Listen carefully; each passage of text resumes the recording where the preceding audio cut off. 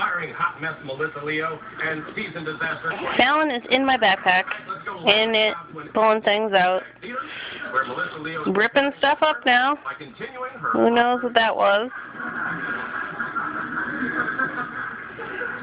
I'm not gonna. Just in the backpack. It is about the work. It is about the craft. Ow! What are you doing in there?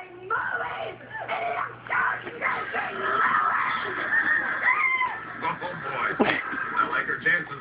The winner will take on heavy favorite Charlie Sheen, but don't count out the three seed Nick Cage, who always looks You like are silly. a murder